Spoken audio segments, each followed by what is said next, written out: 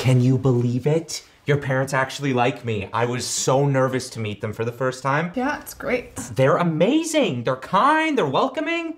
I feel like I fit right in with your family. Yeah. What's wrong?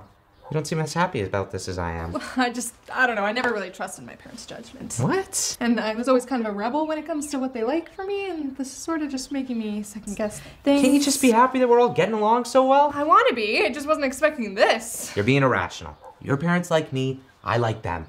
This is a good thing for us. I'm not seeing it that way. You can't base your relationship on what your parents think. I just need some time to figure things out, okay? You're not like.